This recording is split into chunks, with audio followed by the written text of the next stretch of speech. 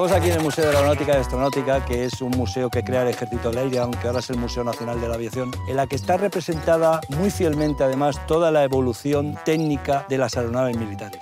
Porque España fue una pionera a la hora de la utilización de la aviación en misiones de guerra porque la aviación ya se había utilizado en, en, alguna que otra guerra, como la de Abisinia, de Italia, pero había sido siempre esporádicos, o sea, eventos eh, de un solo avión, de dos. Como unidad operativa, o sea, como ala de combate, España es la primera, y es en el 1913 y concretamente en el norte de Marruecos. La aviación al principio empieza de observadora, o sea, de ver el frente. Cuando los generales de tierra ven que esos cacharros le dicen qué estaba haciendo el enemigo, que ellos no lo veían, empiezan a valorar a la aviación como observadora. ¿Pero qué le ocurre a la aviación? Que al estar ahí volando y el enemigo darse cuenta que le está espiando, pues el enemigo se le iría a tiros con los aviones. Eran aviones que volaban muy bajo, eran muy débiles y con la propia fusilería pues los derribaban. ¿Qué ocurre con los aviadores cansados de que le peguen tiros desde abajo? Que ellos también se llevan pistolas y fusiles en el avión.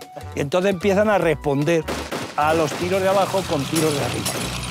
¿Y qué pasa en todo esto? Que dicen, vamos a ver un momento, si yo tengo algo que está colocado arriba y que puedo atacar al de abajo, pues prepararé el aparato para atacarlo con todo lo que pueda. Y entonces empieza a tirar obuses.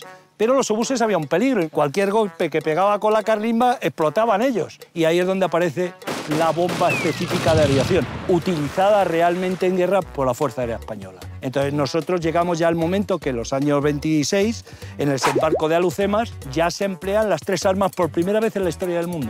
Las fuerzas terrestres, las fuerzas navales y las fuerzas aéreas.